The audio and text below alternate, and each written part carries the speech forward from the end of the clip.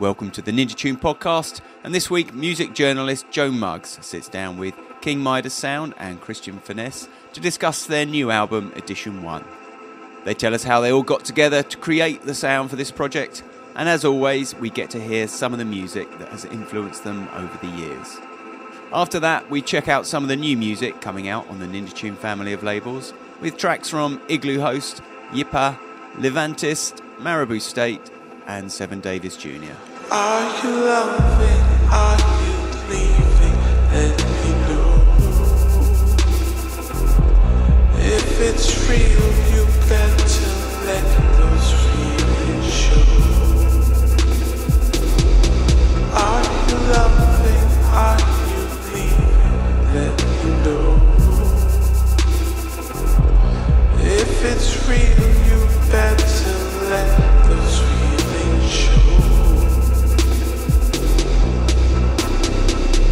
Hello, you're listening to the Ninja Tune podcast. I'm your guest presenter, Joe Muggs, and uh, there are four people in the Ninja Tune studios here today. Uh, we can let them introduce themselves. I'm the bug.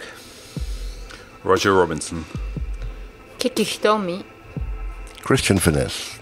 And the fourth name there, um, less usually listed in the same list as the other three who uh, regularly perform together as King Midas Sound. Uh, we're here on the occasion of, well, you four making a record. Um, Kevin the Bug, how did this magic come about? Um, it actually predominantly came about through a conversation uh, Roger and I had had in a hotel after a show in Holland, I believe it was. We were looking for, for ways to to move forward with King Midas Sound. We'd felt it still had to be made even more apparent. There was very little synchronicity between us and club music, you know, and we, we felt that there was still a sort of albatross of hyperdub hanging over us. Not in terms of a negative thing about hyperdub, because I actually we all love hyperdub as a label, but more just in terms of the dubstep connotations of also um, continue to, to, to, to get in the way of hyperdub too. I know that Steve felt that that, that that was a perennial issue, you know, and I think we we were looking at new ways to work, and I would, was personally getting frustrated with myself for taking four years to work on any given album. Um, and Roger and I had discussed in a hotel room how can we what do we want to do to, to shake things up for ourselves and find a new way of working for ourselves.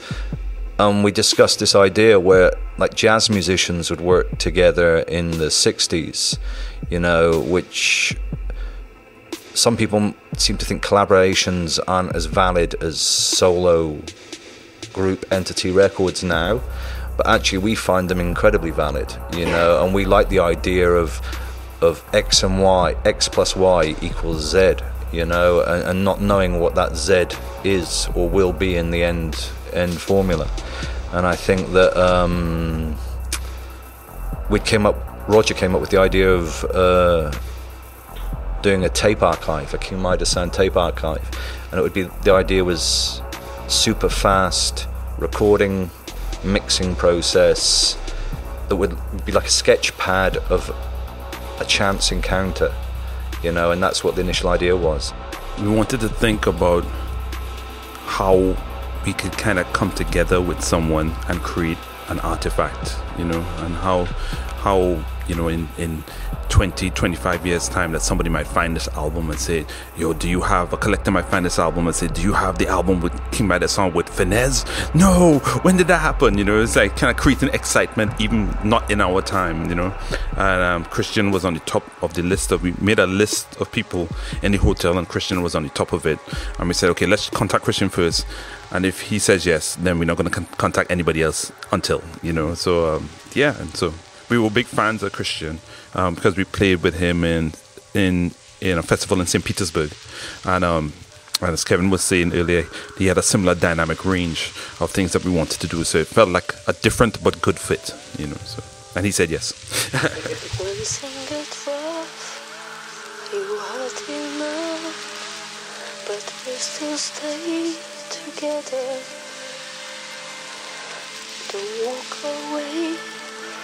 Look past the pain, see past the stormy weather. Look in my eyes, look past the lies, and see my smiles still friendly. Forget the past, we'll make it last, because this love unending.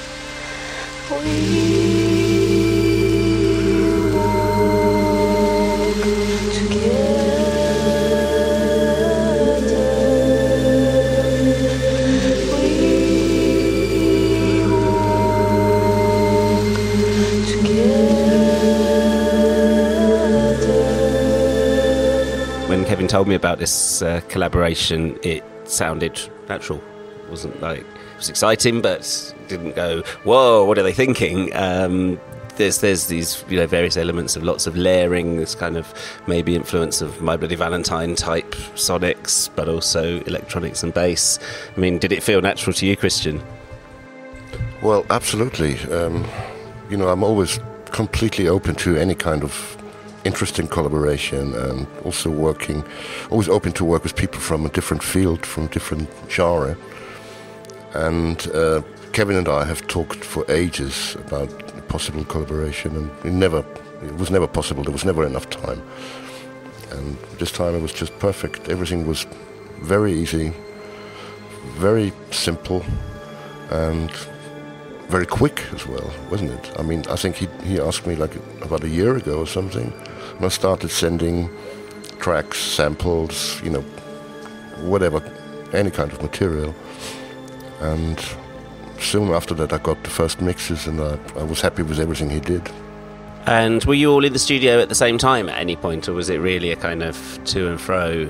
I think because you know all of us living in different countries now, our process has become sort of streamlined. You know, where you know Christian sent to Kevin, Kevin built stuff, sent it to me and Kiki. I did demos, sent it back to Kevin. Kevin would say yeah or nay on the demos. Then I flew across, went to the studio. So, I mean, it was done quickly because I think the whole process was kind of efficient, you know. But um, it didn't really kind of stop the kind of emotional elements coming through. So, so yeah. So it was all at different times and sometimes together.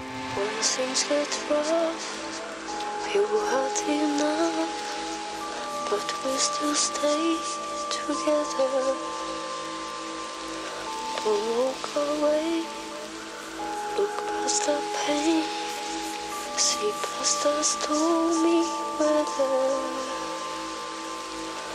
Look in my eyes, look past the lies, and see my smiles still friendly.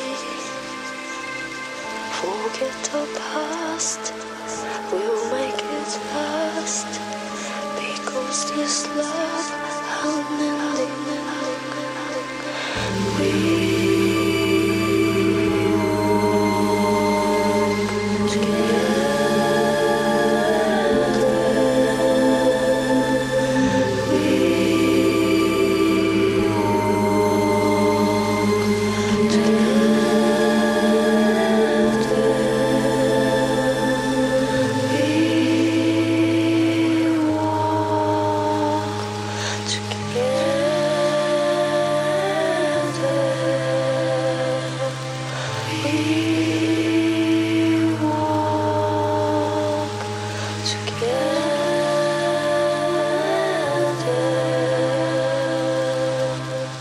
always talked about the emotional elements being important, this kind of influence of lovers rock and and um, uh, Bonnie Prince Billy and things like this on, on King Midas sound.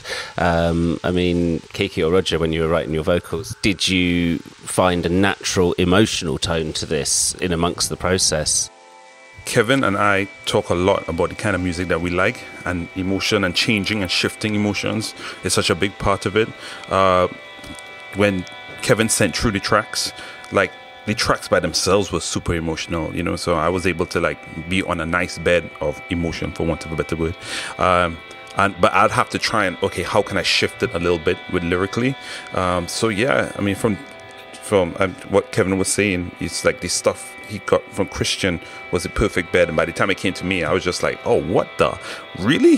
What?" You know. And so I, I was super excited about writing songs on it. You know, because from the time I got it, I felt moved by it without lyrics. You know, it's just what could I add to kind of either amp it up or you know, or enhance or or even reject the mood that was there. You know.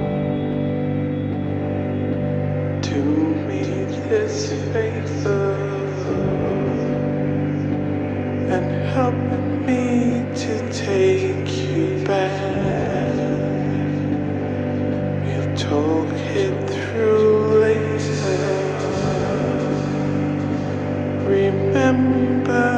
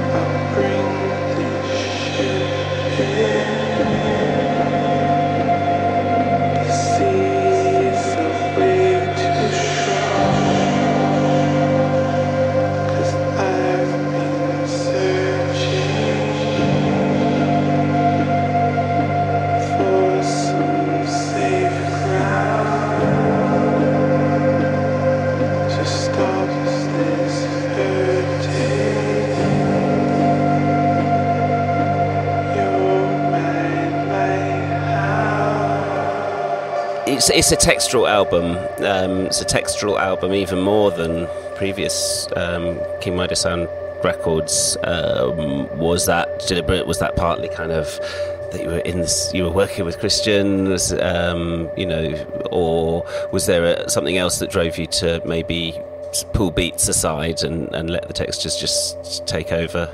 You know, there's a really deep emotional undertow to the record, you know, as far as we were concerned. It sounds trivial to talk about the issues that we were facing and what was going on during the making of the record. You know, when you talk, I, I personally um, almost lost my partner at birth of our child, and our child struggled to survive two major operations. Roger had a very similar experience with his child, and um, this record was made towards the tail end of the major trauma, you know. And for me, there's a real sense of release with this record, and this record was was made in record time for me. I think we broke I broke all speed records considering I normally take 4 years to make an album. And as far as I'm concerned, I think there's a lot of subliminal emotional impact and uh, uh, and manifestation in the making of this record that I have only understood after the record's been completed. Because when we came up with the original idea to make a record fast, it, it I didn't question. I put myself on autopilot, and Christian's palette for me is is so. Uh, so linked to my own emotional needs through music. When he sent me this beautiful, incredible, entrancing, atmospheric soundscape, it was obvious to me what I had to do. I couldn't even tell you now what I,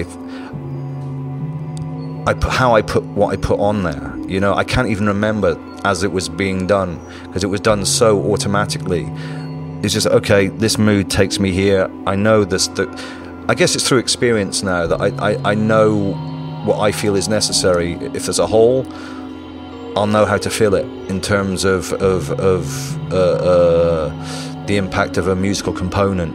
And I think that um, this record was a very necessarily release of energies that had built up through a lot of tension over a course of a year both professionally for me personally as with the bug record and very much personally you know and I, I think it kiki also is a mother in the same year that we became fathers. And uh, statistically i have no idea what the chances of that actually having happened would be but that seems miraculous to me.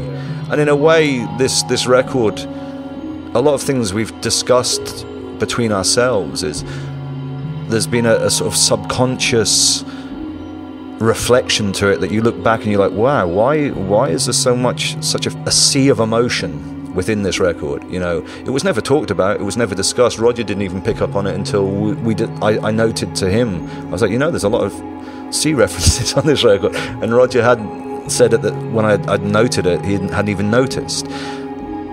But this was this was a joy of working fast, having. For me, I'm generally not someone who does that, you know, and the beauty now is looking back on it and, and actually feeling that it, it, it provided a very necessary emotional outlet for for me personally, and I feel for everyone concerned. You know, and I think Christian's music is always absolutely tied to to emotion, uh, uh, and it's the core of what we do with with King Midas Sound, really.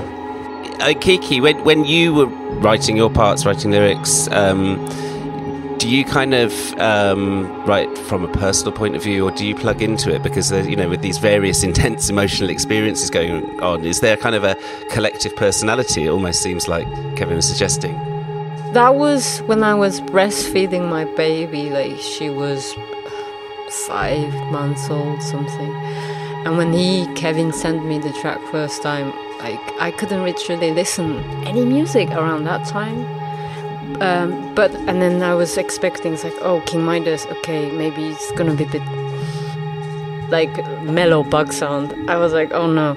But then I listened, like, wow, it's beautiful. So it was like timing was perfect for me, and I was like, okay, maybe I can start to practicing singing because I was very out, pregnant. I was heavy birth, and I have to go through all that. So yeah. Um, but then he was busy for Bug, and then Roger did amazing vocal, and Riddick was amazing. And I listened, wow, okay, I don't know anything I can do it, but I try. And then naturally all came out, and yeah, it was just natural, natural happens, yeah.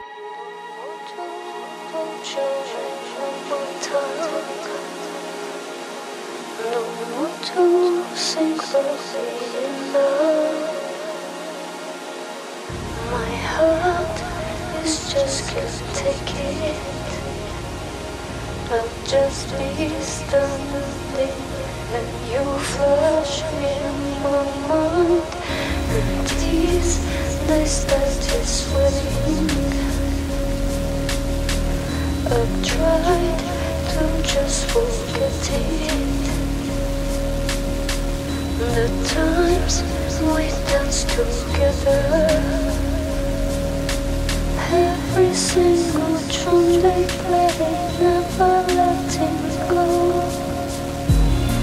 Too painful to remember These pages I created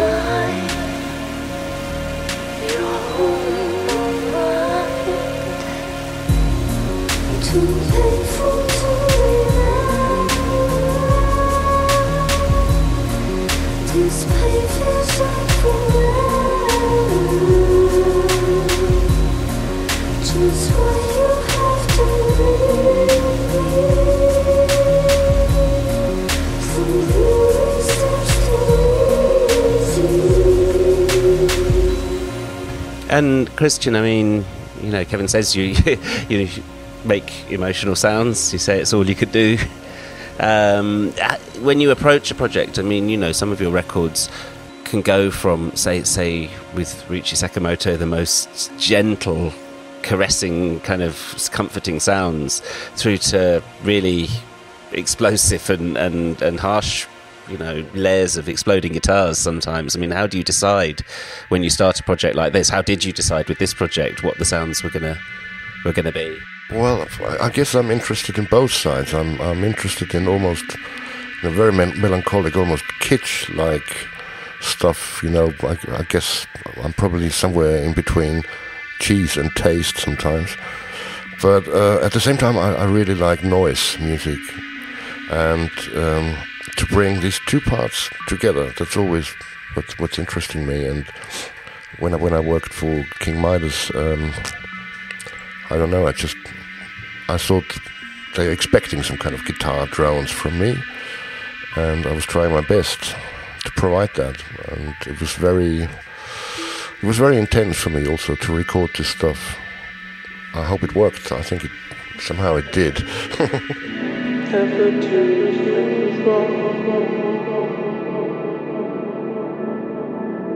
Make our love stay strong. Cause we both belong to our love.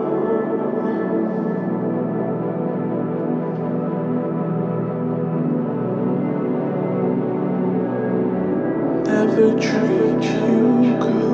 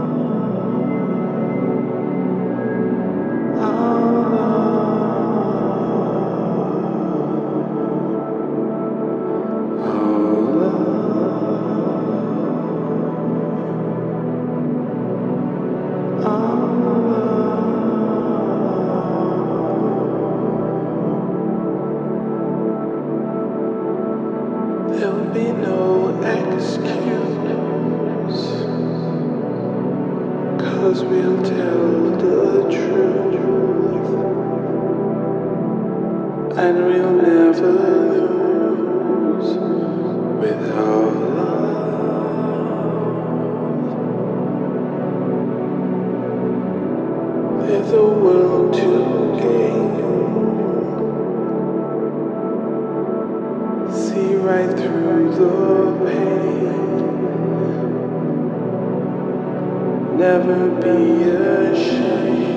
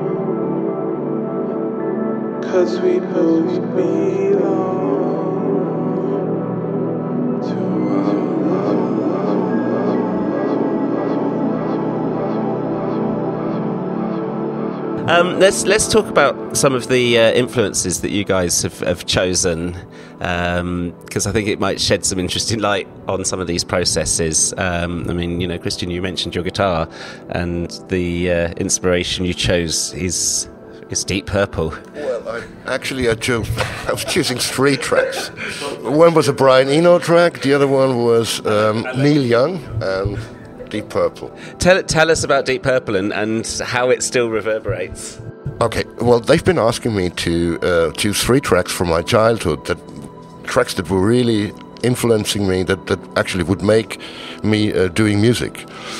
And I had this friend when I was a kid, and he he was a record collector, and, and, and you know he had everything, and he was the first person who introduced me to this kind of music. And well, you know, obviously that was um, the early '70s or something and there was Deep Purple, you know, and there was Brian Eno and Roxy Music, and so that was the first stuff I actually heard, the first pop rock music I heard, and that was influencing me, of course. But uh, did you, because you know your music is so textural, and you've obviously gone way beyond rock. Did you hear the music in those terms when you were listening to distorted guitars and hearing it for the first time? Oh yeah, uh, um, I really loved the energy of that track. You know, it's. Uh, I think the rhythm is great. The energy is top. It's.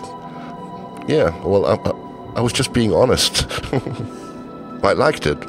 But, but I mean, what, what what I guess I'm saying is, um, as well as hearing energy and rock and roll and all that kind of thing, did you hear it in these kind of abstract terms? was your brain already kind of creating these these abstractions from it that you make? Yes, actually, yes. Um, I don't know if you know, but once I made a remix of um, a Rolling Stones track, uh, "Paint It Black," and and a Beach Boys track uh, as well from from the Pet Sounds album. And number three on my list was actually this Deep Purple track. So maybe one day I do it.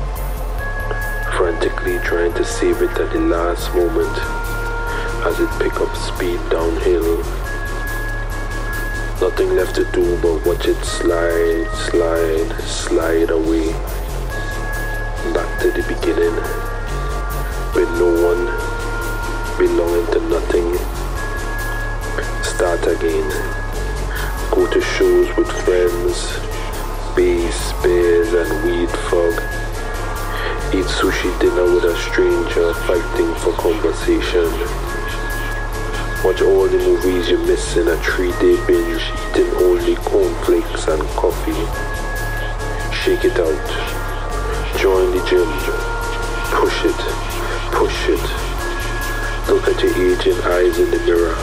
Grow your beard like a forest. Throw away every book you don't love. Order your groceries online. Don't think about them small things. It don't help no one. Get out of the house. The new her could be the next woman you meet. Searching for you.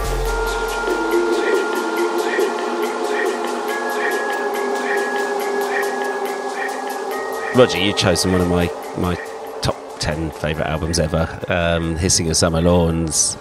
And I could hear a bit of how Joni uh, reverberates through what you do, but perhaps you could spell it out a bit. I think when I was young, um, very much, I was just into story songs. That's the only things that really resonated with me.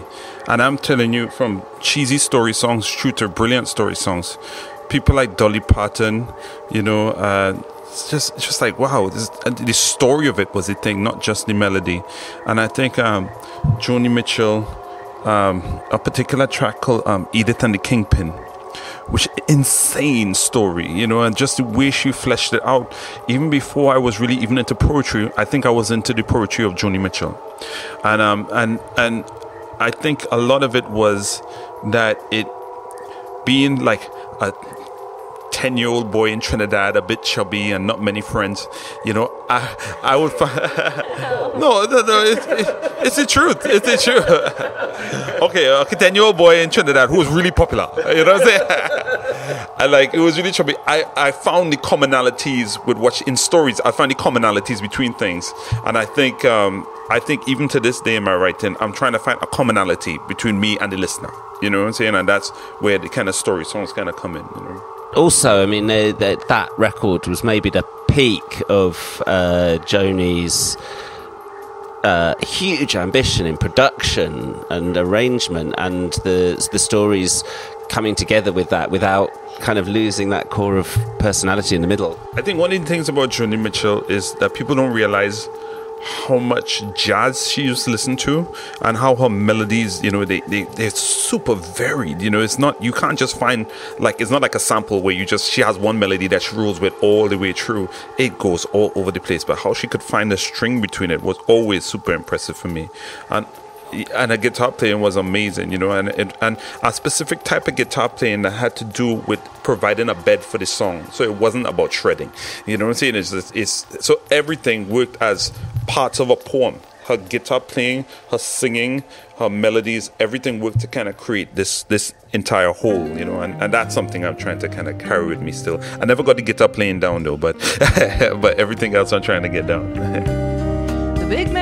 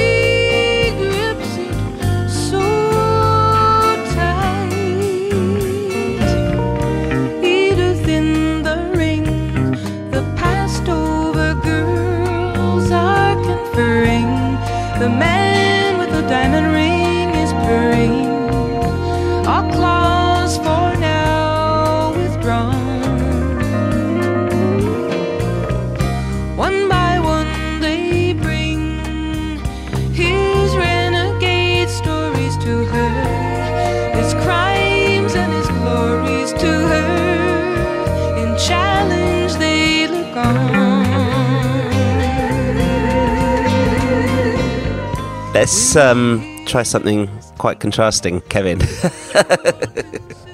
um, yeah, this doesn't sound much like Joni, your discharge track. Actually, you know, my choice is extremely related to Christian's choice. because I felt at a very young age I was being tortured by my mother on a regular basis in our household because she had speakers in every room that she would insist on blasting heavy rock music. So Deep Purple were actually my nemesis. Ritchie Blackmore, I had actually wished dead on many occasions when I was a child. That's why I loved it when I saw uh, Christian's Choice. Yo, the fact that your mother had speakers in every room says a lot. I just realized something very essential about your Yeah, yeah, yeah. It's actually true. I've never thought about that, but it's actually very true. But um, at that age, um, shit made even less sense to me than it does now. Uh, and it was a very turbulent time, as it is for most people, like beginning of teens. And um, hearing heavy rock as the soundtrack to my parents beating each other up on a regular basis, or my dad beating me up, was not the one, you know, as far as I was concerned. So therefore, I was drawn to stuff like Crass, Throbbing Gristle, Discharge, because it seemed to be a direct. Uh, um,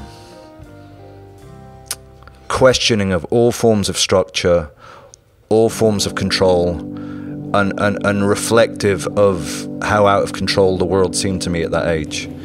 Um, and Discharge, for me, I could hear how someone like Sonic Youth, who were applauded as being these like masters of their instrument and masters of technique, sound to me like they, they actually lifted a lot from Discharge, to be honest. I don't know if it's true or not. Um, and Discharge, I found out actually through Justin, of all people.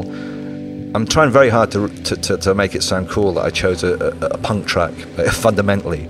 But basically, Justin told me that, that Discharge were actually obsessives in the studio and that their, their multi tracking of guitar is meant to be legendary, you know, in, in terms of how they created this wall and wash of, of riff, you know.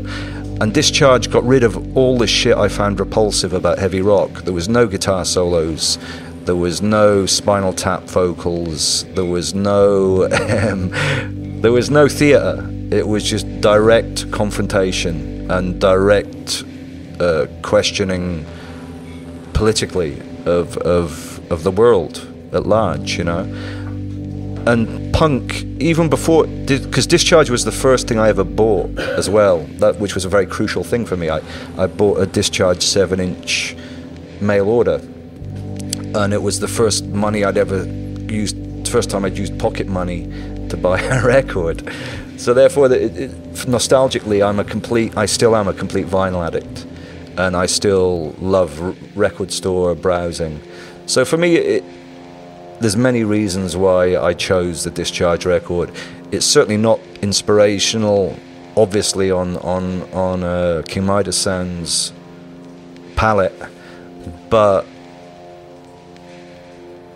in a way, when I hear our new record that we've all worked on, it's actually anti-structural. You know, it, it, it doesn't conform to conventional song structures.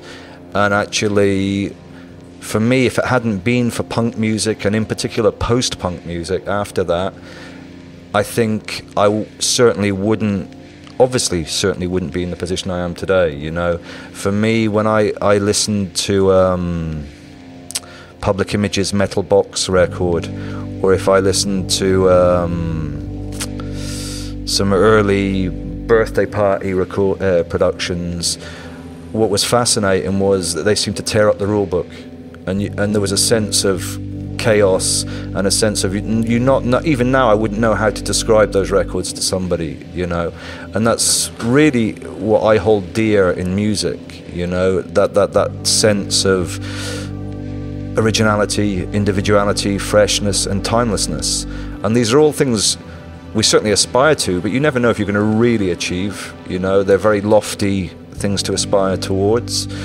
But like Roger alluded to earlier, you hope that in X amount of years' time, somebody is going to have found a special place in their heart for a record you make.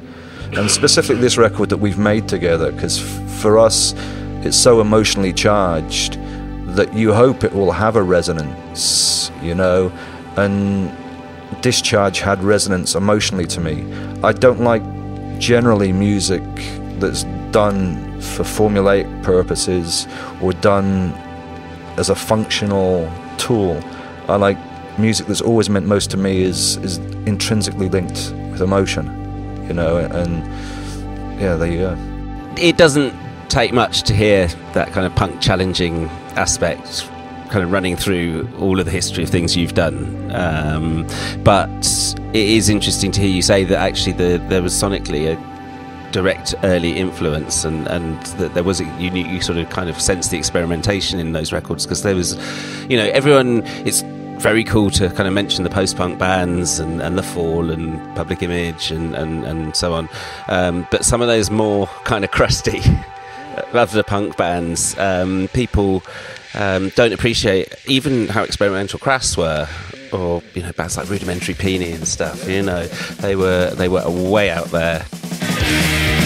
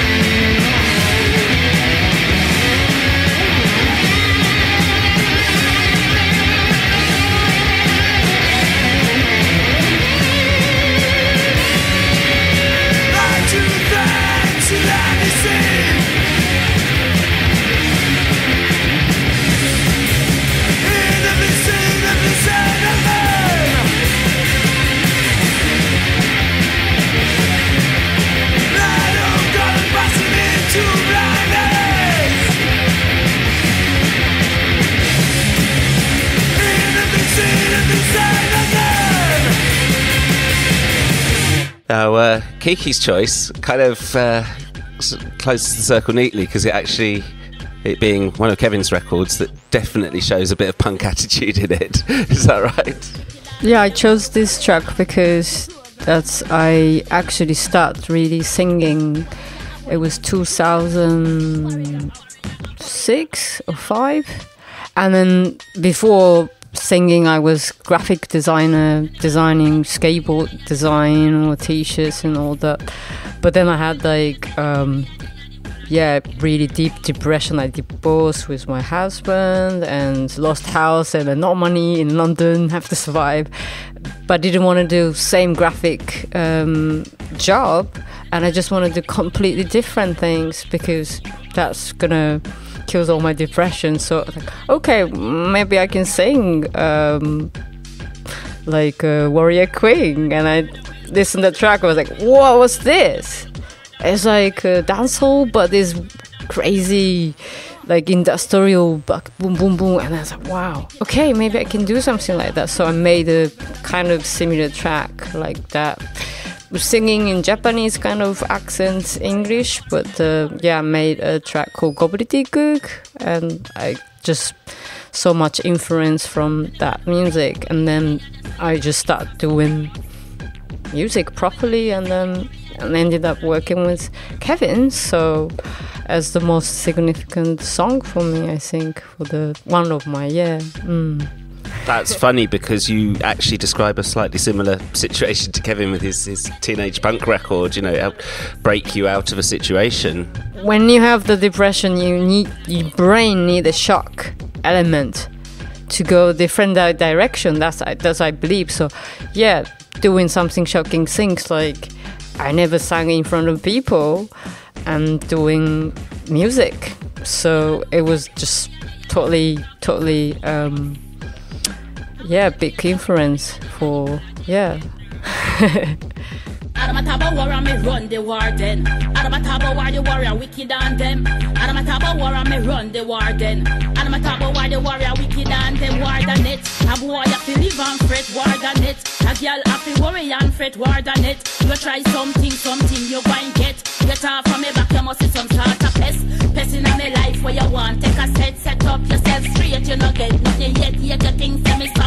warrior, than it, than it. You try test, two shot, you a go.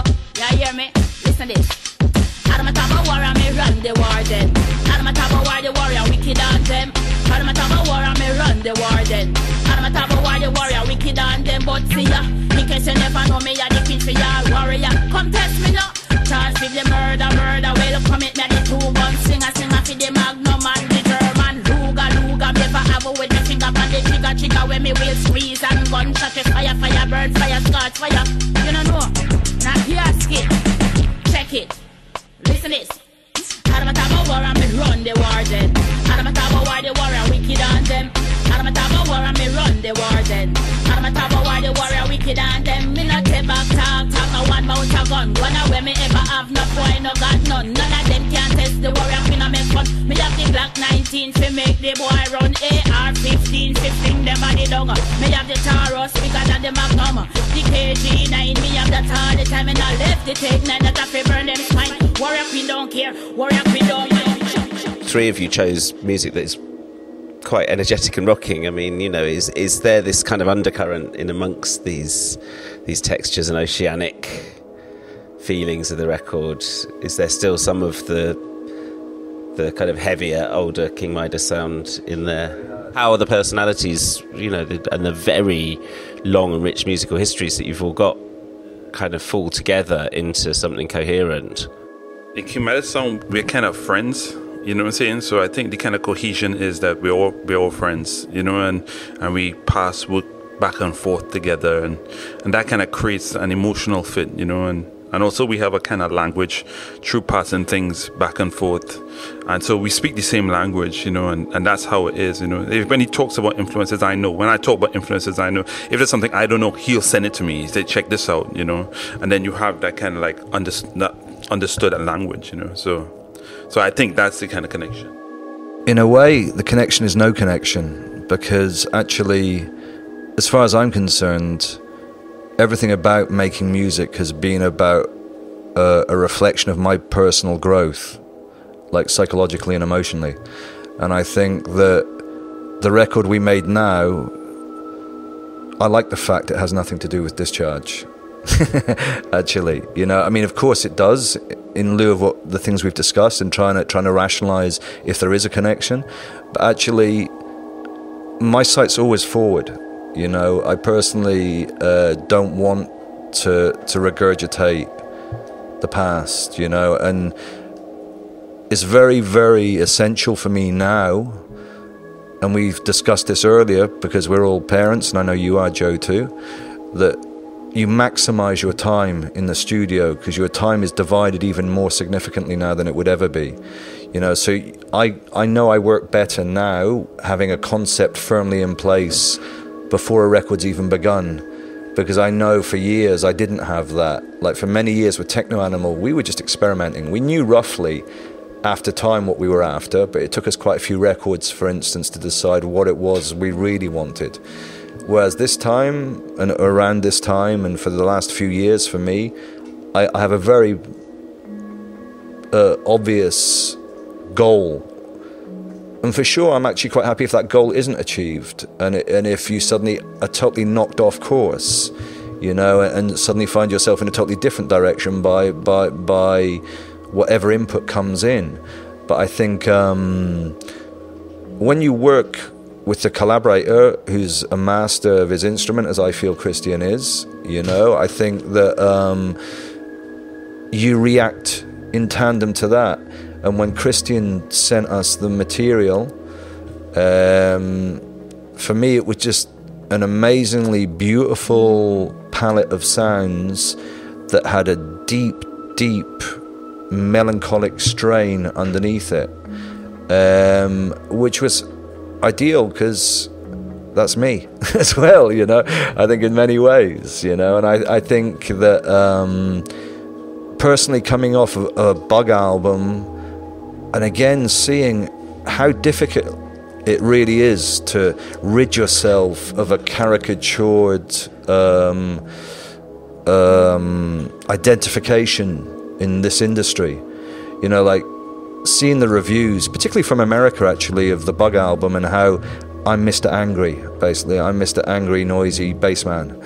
You know, yeah, I am. Partly, you know, but actually, a large part of me isn't that. And, and certainly, the changes that went on personally whilst making this record are much, like, emotionally, are much more significant than a record by discharge you know, for instance, as far as I'm concerned, you know. Um, so I just think that what this record has, as far as I, I, I feel, is it has its whole singular own sound world. I would find it very difficult to describe this record to anyone, you know, easily. Um, and what it is is it's a sound world made up of this combination of four four different energies from very different backgrounds, culturally, socially, uh, and experience-wise. Christian, was that actually tough to come into? I mean, you you knew these guys from presumably from festivals and so on, you played together. You you knew their music, but as Roger says, it's kind of a family. There's a whole lot of um, you know close shared influences. Did, what were, were you were you self conscious about kind of putting something into the middle of that? It was not difficult at all, I must say. I mean, I don't know. I felt very welcome, and um, all the feedback I got once I, I was sending stuff was so great. So I kept on doing the stuff that I did before, you know. No, it was very natural, very easy, very nice. That's all I can say. Excellent. Um, can we? How much can you talk about the other collaborations that are planned? I mean, this is to be a series. With the collaborations, with the additions, we don't want to talk about it publicly at all. You know, for a start, we want to hear them done and know that they'll do justice to this record we've made with Christian. Because for now, for me, and we haven't even discussed this, uh, Christian, the, the, the, this this combination has set a bar very high, you know, and we have to see how the others turn out. And also, there's always so much teasing and hype everywhere now. I feel a slight allergy towards that. With and, and with the album we made, we originally um, wanted to throw it out super quick, you know, like probably digital only. We talked about tape and digital. Tape for this crazy throwback to the past, and digital because it's so contemporary. But actually, um, it was only through feedback from Ninja Tune directly that made us re reassess how we were going to do this. Because I'd come off the back of a seriously stretched bug campaign, which I'd never been part of a campaign like that. Maybe it's normal in, in larger industry areas. It's also to do with how everything's changing now with digital media, you know.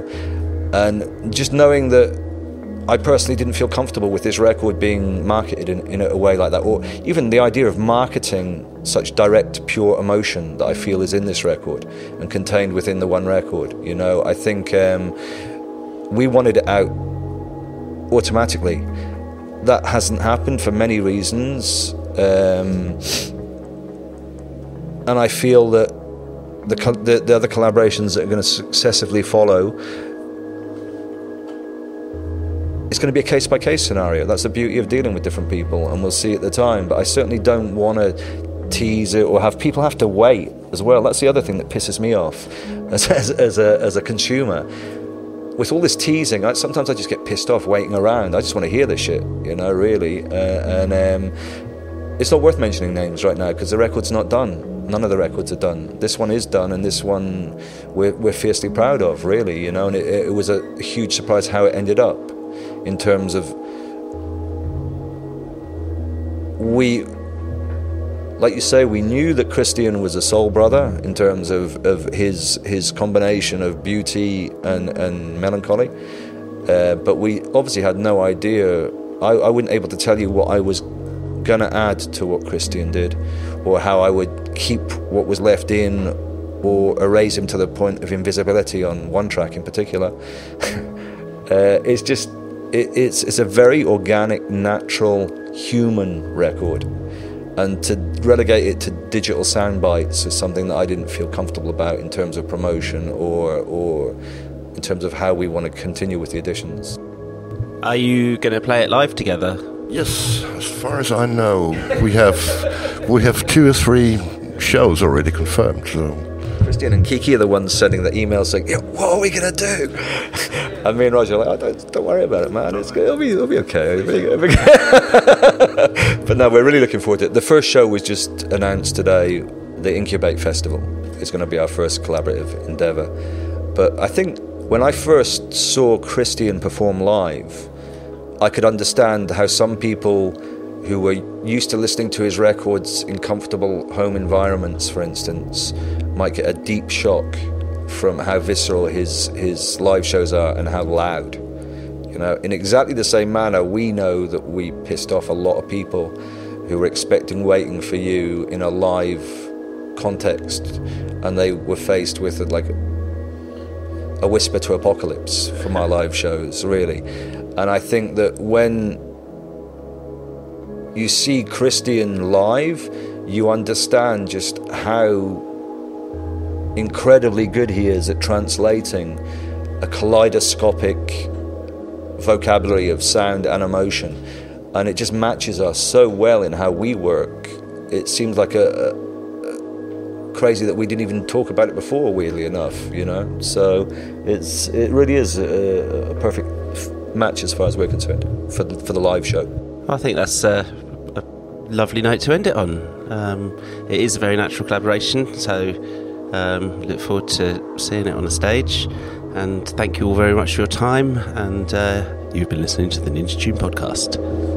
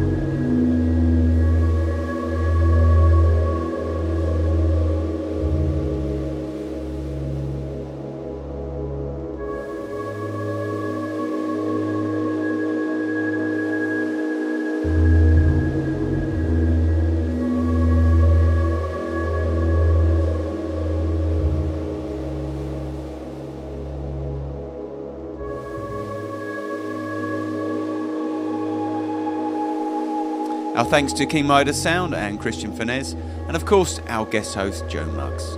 We now turn our attention to some of the new music coming out on the Ninja Tune family of labels, starting with Iglooghost and a track called Gold Coat, which is coming out on Brain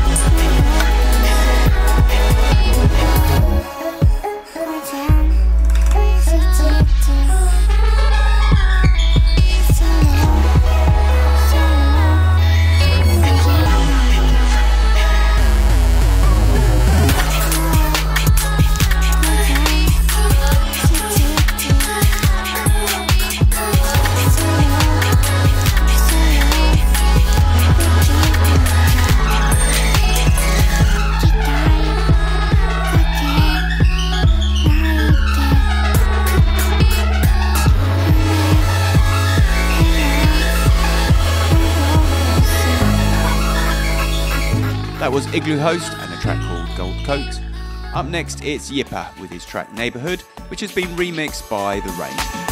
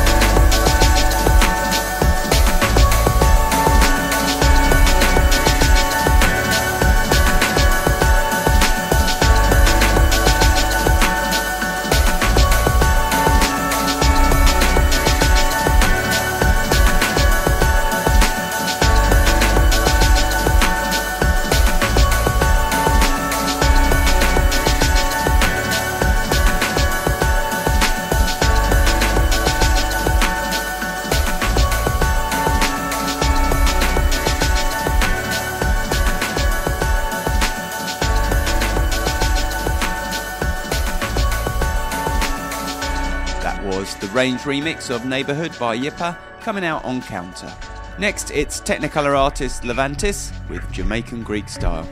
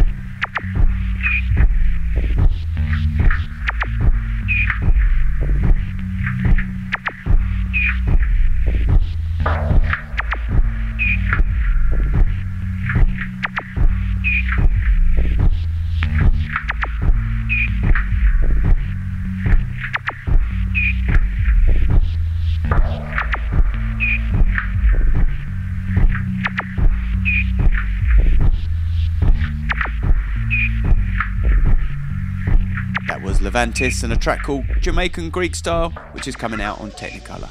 Now it's Wallflower by Maribou State with Ross from Friends on remix duties.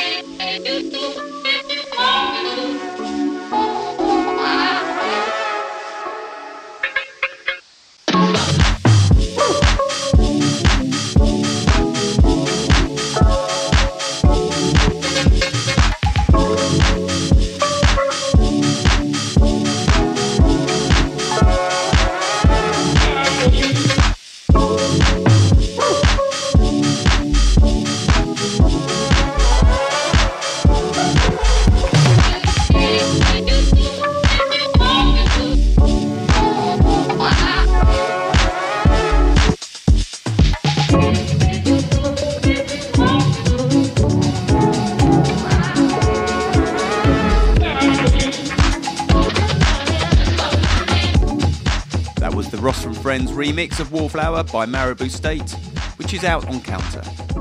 Finally, it's Seven Davis Jr. and Sunday Morning from his album Universes, and this is the Kaytronik Rough Cut mix coming out on Ninja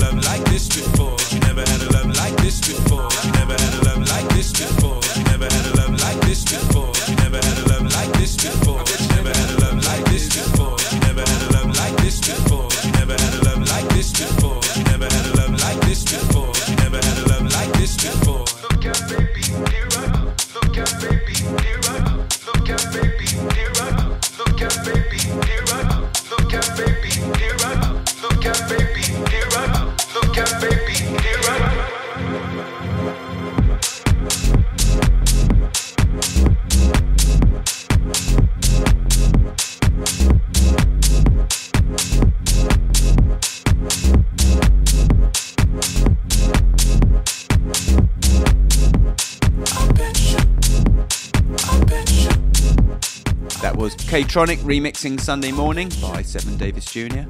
And that's it for the Ninja Tune podcast. We'll be back once again with another edition soon.